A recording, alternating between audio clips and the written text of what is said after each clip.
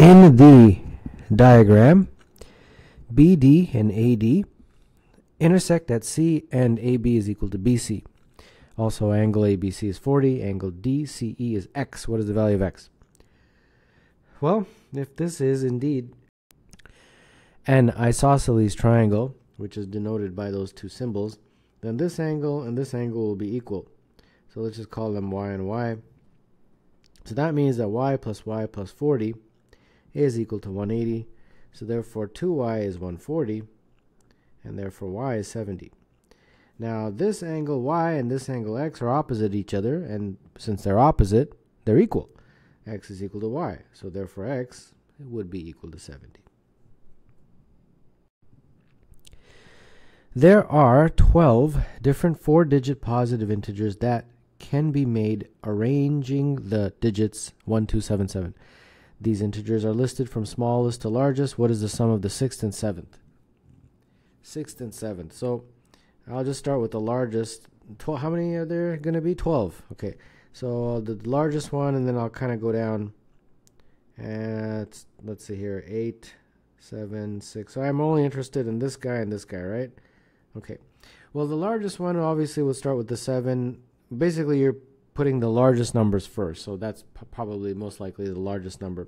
And then the second largest would be just interchanging those two. Then the third largest, instead of the 7, we're going to put the next biggest number, which is 2.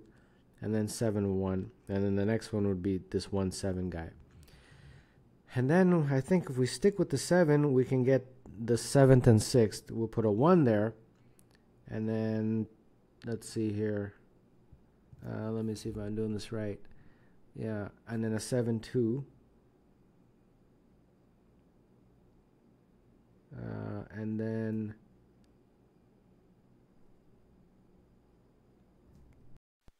I make sure I'm matching these accordingly.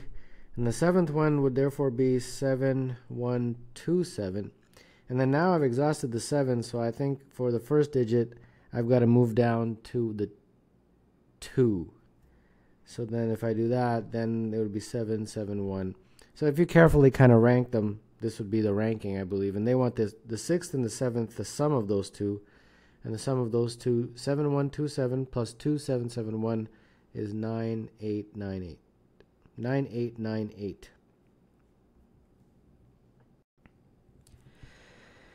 In the 3 by 3 grid shown, each of the three symbols has a different value. The sum of the values of the symbols in each row is given to the right of that row, and the sum of the values of the symbols in each column is given below the that column. What is the value of x? Well, many ways of doing this. Um, we are basically being asked to add heart plus triangle plus square. I'll just use the letters to denote that's what we want. So I, we, I guess we have to figure out the value of the heart, the value of the triangle, and the value of the square. So let's see, where do I want to go first here? Um, well, hmm, let's see here. Uh, how about this guy? This this column that's three triangles, and that equals twelve. So that means one triangle is equal to four. Okay, so I got that four right there. That's pretty straightforward. And then I guess I can just use that fact to solve. Is there anything that has just triangles and something else?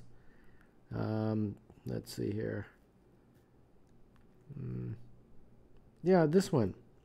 That's just a heart plus two triangles, so that equals 15. And since the triangle is equal to 4, that's going to be h plus 2 times 4 is 15. So that means h is 15 minus 8, which is 7. Okay, so I got that. And then now I just have to find s. Uh, let me just use this one here. 2 squares plus a triangle is 20. Triangle is 4, so that's going to be 20 minus 4, 16. S is 8. Okay, well, I got it. So that means x would be 19.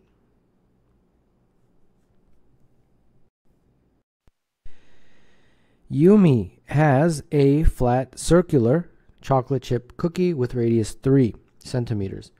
On the top of the cookie there are K circular chocolate chips, each with radius 0.3.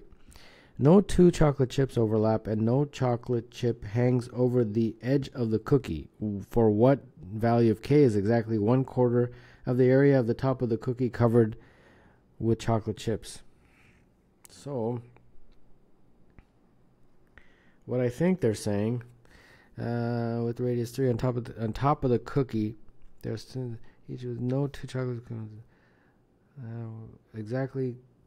Okay, I, I think what they're saying, although it's not very clear, is something like this. Uh, these chips are covering like that.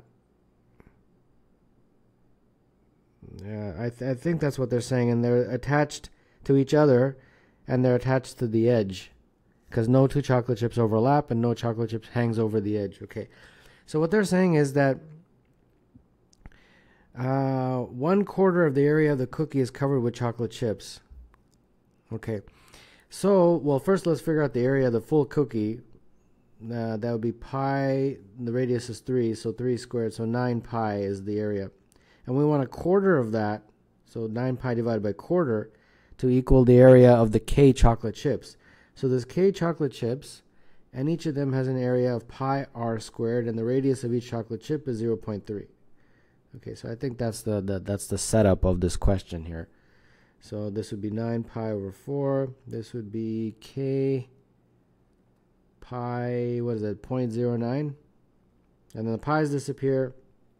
And then when you solve for this, this would be, I think, 100 divided by 4, which is 25 for k.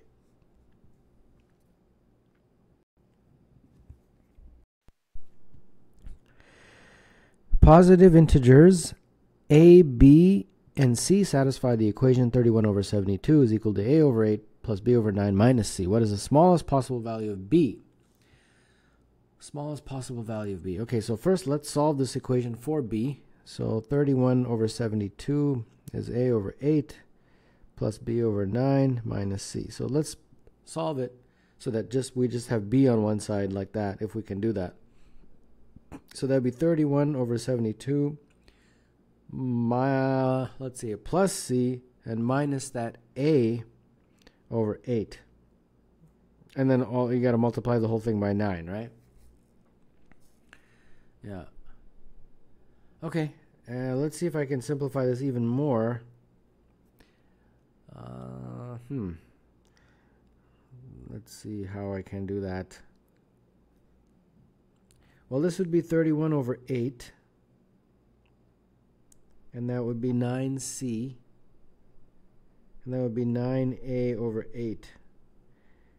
And then if I put everything as a common denominator, it would be 31 plus 72c minus 9a all over 8. Okay, so that's pretty much, you know, the solving of b, but then we got to find an integer. Okay, so to get the smallest possible value of b, we would need the smallest possible value of c, right? because we're adding a c. Yeah, so let's start. What what are these? These are positive integers. So the smallest possible value of c would be 1. Okay. And then and then where do I go from there? Um, hmm. Uh, okay, okay, and then uh, B, they're all positive. Okay, I got it. So this thing has to be positive up here. So that's we can figure out the starting point for A. Okay, so 31 plus 72 minus 9A has to be greater than 0. Okay, I got it. So we, we're going to be able to figure out what is the starting point for A, and then we can kind of plug these values in. So we got 31 plus 72 is 103 minus 9A so that means 103 is greater than 9a. So that means a has to be less than 103 divided by 9. So a has to be um, less than 11.4. Okay, so that definitely helps. So we have to the, the we can only start with 11 then go down from there. So that that definitely helps us. And then you just got to crunch out the numbers. So if you put it in for for a equals 11 and C equals 1, you're to get 0.5 for B. Now we need an integer for b, so we got to keep going here. Okay, let's go down to 10. And we when we do, we get 1.6. But 9 for a, we get 2.7. If we get 8 for a, you get 3.8. If you get 7 for a, you get 5. And there you go. 5 is the answer for the smallest possible value of b. In the diagram, six squares form a 2 by 3 grid. The middle square in the top row is marked with an R. Each of the five remaining squares is to be marked with an R, S, or T. In how many ways can the grid be completed so that it includes at least one pair of squares side by side in the same row or the same column that contain the same letter? Well, the R is fixed, so we have one, two, three, four, five other uh, boxes, and each box can be either an R, S, or T. So each box has three choices. So since there's five boxes, there'd be 3 times 3 times 3 times 3, which is 3 to the power of 5 possible variations, and that's 243. This is the total, total number of combinations. But they have given us a specific condition. They want, in how many ways can the grid be completed so that it includes at least one pair of squares side by side in the same row or column that contain the same letter? So what that's a lot. So I think it's faster to count when there's no pair of side by side uh, squares that have the same uh, that have the same letter. I think that's a much smaller list. And then what we can do is subtract that from the three 243. Yeah. And then that would give us the answer to the question. Okay, so let's do that. So the first, I think, case is, uh, let's see here, we got an R here, and we start off with S's, and then see yeah, because mm, yeah, the S's there's the different variations, right? There's the, the S's can go there, or you can have uh, T's go there, and then you can have uh, another variation, which would be S and T. And then the last one I think would be T and S. Yeah, like that. And I think that would pretty much give us all of them. I'm just trying to think. Yeah. Now each of these is going to have a lot of a lot of um, different ways of doing it. So I've got to figure this out. So let me just list them. R R S R. That's one S R S R S R S R S